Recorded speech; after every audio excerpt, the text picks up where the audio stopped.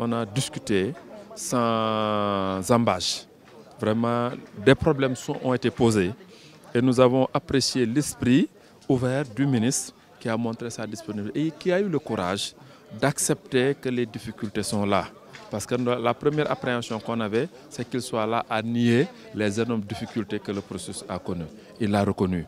La deuxième chose, qu'il a déjà pu corriger une euh, vraiment erreur, en tout cas une, maladresse de son prédécesseur consistant à accepter un pôle indépendant. Donc ça, quand même, euh, il faut, il faut, le, dire.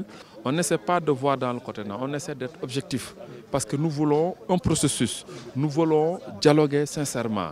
Donc comme il montre sa disponibilité et il l'a traduit en des termes, donc nous espérons que les actes vont suivre et nous, nous allons y veiller.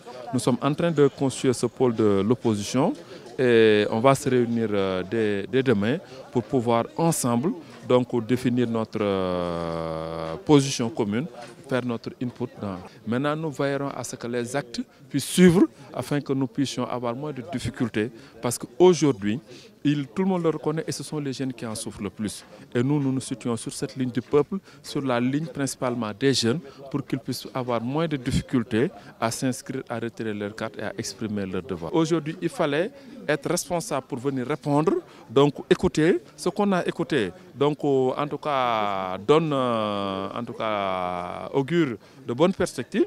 Maintenant, nous serons toujours alertes, nous serons toujours sur nos gardes pour que véritablement les choses ne puissent pas être déviées.